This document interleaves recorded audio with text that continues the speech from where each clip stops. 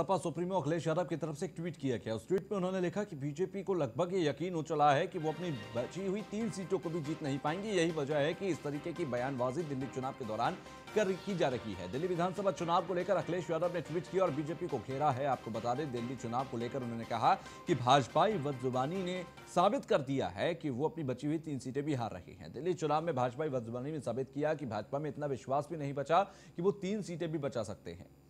चुनाव आयोग को इस बदजुबानी को लेकर सबक लेना चाहिए। आगामी चुनाव में उन विषयों की सूची पहले से जारी करनी चाहिए, जिन पर बोलने से दोषी पार्टी की उम्मीदवारी रद्द हो जाए।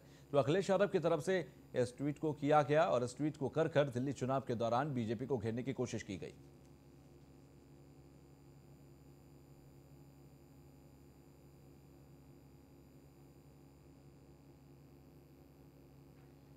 तो अखिलेश यादव ने ट्वीट किया है और ट्वीट में लिखा कि दिल्ली चुनाव में भाजपाई बदजुबानी ने साबित कर दिया है कि भाजपा में इतना विश्वास भी नहीं बचा कि वो अपनी तीन सीटों को बचा सके।